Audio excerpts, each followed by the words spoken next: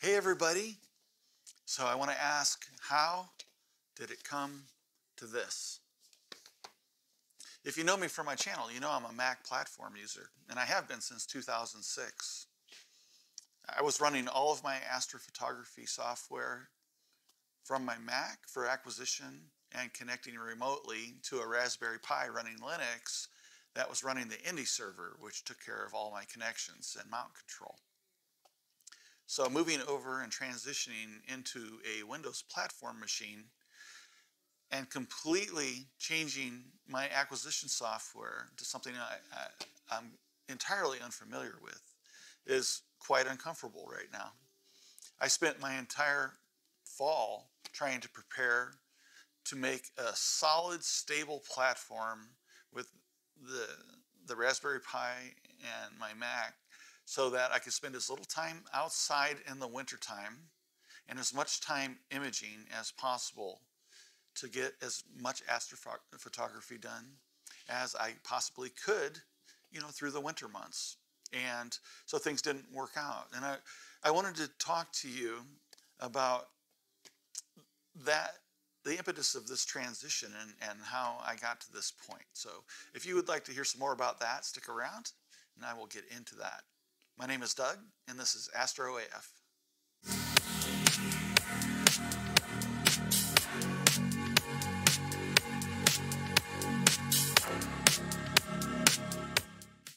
So, about nine months ago, I kind of entered into this whole astrophotography thing. And I didn't have a telescope or a mount. I did have this set of Celestron binoculars, and I love them. And I take them out with me and uh, for visual viewing all the time. Um, and I thought to myself, you know, what if I could get this on a tripod and you know, so I could get a, a more stable view. And so I picked up a mount for binoculars, which is really cool. I mean, it just screws in to the end here. This end screws onto the, the mount or onto the tripod. And boom, I had binoculars on top of a tripod and they were stable. And I could get a lot better views through it, you know, especially like the moon and stuff like that that uh, weren't near as shaky as me trying to hold this and and and look through them. And I found that to be a lot more enjoyable. You know, at the same time, I've been trying to take some images with my iPhone, and I found that to be really not desirable at all. The uh, the night mode I had hoped uh, was going to help me to uh, to get some images, even of the moon, but you know I couldn't even get a decent image of the of the moon with my iPhone, even if it was in a in a tripod. It just is uh, always, you know, so exp- overexposed, and then if I bring it down, uh, the exposure level, um, it would be so dim. If I tried to zoom in, the noise uh, was excessive, and it just wasn't anything that I really liked. But I thought, you know, what what if I what if I could use my iPhone and my binoculars together? And so I ended up picking up this, which is the most fiddly mount in the entire universe. Um, however, once you get it set up, it works really well. And I would connect this to my binoculars and get my iPhone in here and get it lined up. And that would take a lot of time. But once I got it and tightened everything down, it did really well.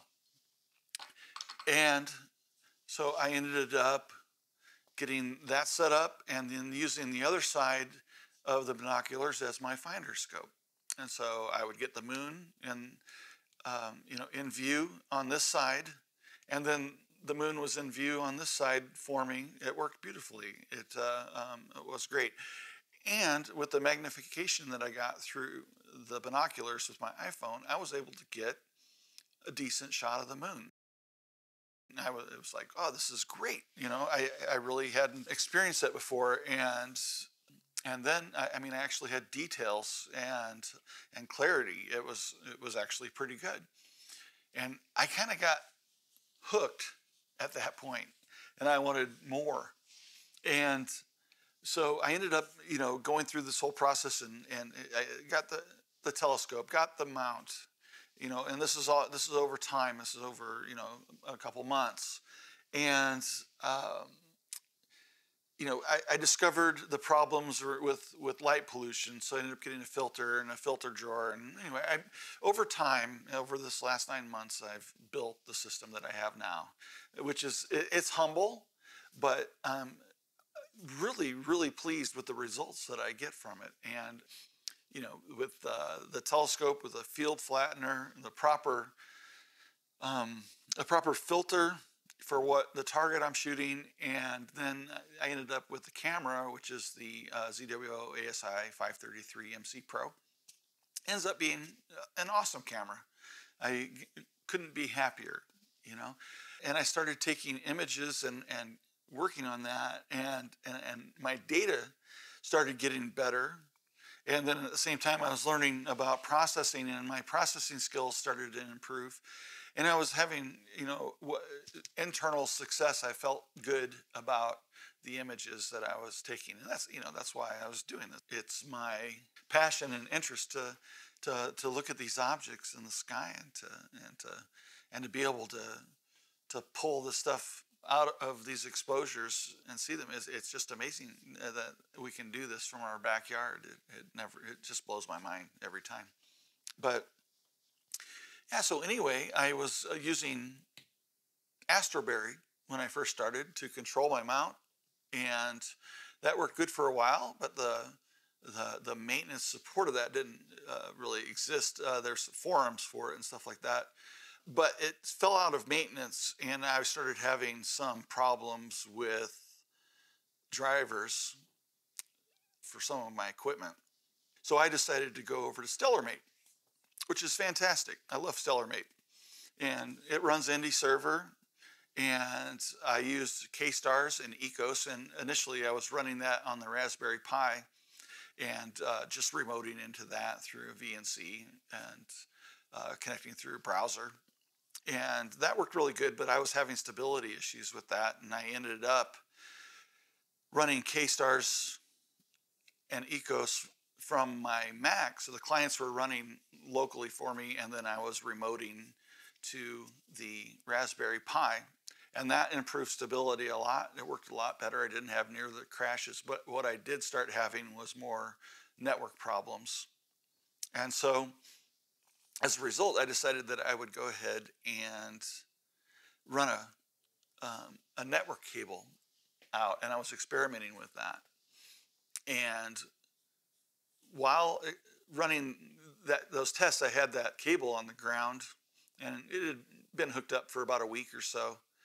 And uh, you know, I guess uh, I had intended to like bury it, but my dogs were out running around the yard one one night, one evening, and I was actually just walking out the door to go grab the telescope and bring it inside because I had some stuff I wanted to do to it.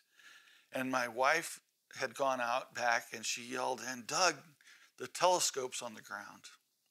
And my dogs had run through the wire and got caught up in it and it pulled the telescope over. So the whole mount and telescope and everything hit the ground. And as a result, that Raspberry Pi basically blew into pieces. I searched the yard. I, finally found the actual Raspberry Pi board about 25 feet away and the case to it had uh, been broken into a couple different pieces and i had a, little vixen mount on it that uh, half of that got broken off and it just really took an impact and it damaged some other things on there but you know staying in context of, of what we're talking about here, that computer was done. And so I had already been exploring looking at small mini Windows computers. And not because I wanted to replace the Raspberry Pi, but because I was interested in trying out some different things. So I was thinking about setting up a Windows system with Nina. And Nina was the, kind of the the main driving factor of that because I was interested in Nina. It looked like it was a very stable platform, although in a lot of discussions that I've had with people that not on YouTube and on YouTube, there's problems to be had in the Nina e- ecosphere as well. People that I talked to who had moved away from the INDI server and uh, and K stars and Ekos found that uh, they had problems over running Nina as well. So it's not like it's going to be or I'm going to have an expectation of being able to fire this up and, and run Nina and not have any problems. I think there's going to be problems. You know, with that, that, that really brought me to this point where since I had already been looking at this, I, I had added it to a wish list on my Amazon account. And so after the Raspberry Pi had blown up, I told my wife that I was going to have to uh, order a new Raspberry Pi and this was just in the beginning of December, I think. And she said, No, I don't want you to order a new Raspberry Pi. I just want you to be patient. and so I kind of got the idea that she had already been over on my wish list, and, and, and in fact, she had already purchased this MeLe for me, you know, and you know, that's one thing that I, that I really love is that my wife and my son they support me in this hobby you know, so much and uh, you know I, I just love that. It makes it uh, fun and uh, to talk about and they're interested in in the photography and uh, they're interested in supporting me in however they can you know even if it buy me equipment for um, for a christmas present and what have you. And so honestly, I ended up with this uh, with this MeLe as a result of of my family and their interest in supporting my astrophotography, and that means the world to me. That's how I got to this point, and we're going to go through and work on to set this thing up, and we're going to get Nina running and I'm going to figure it out. As uncomfortable as this is for me, you know, I had intended on doing this on the side and not having, you know, the the pressure of needing to get this up and running and working because I, I really want to have uh, imaging started again here in the next week. So um, I've got a learning curve in front of me, and I know I can figure the Windows machine out. I think I, I have more apprehension about getting going with Nina. Um, there's, you know, I've watched tons of videos, I've read the documentation, and I'm probably going to do just fine with the setup. Uh, I, I, understand most of it, you know, but I, I just actually haven't worked with it yet because I don't have a Windows machine to actually mess around with it even beforehand. So my first look at Nina is going to be once I, you know, fire this machine up and get it configured. So, you know, and then it's uh, hit the ground running and try to get uh, Nina all configured and set up. And uh, hopefully, we'll have an imaging session going. So, anyway, uh, that's how I got here. I appreciate you hanging out and listening to my story. So, thank you very much. My name is Doug, and this is Astro AF.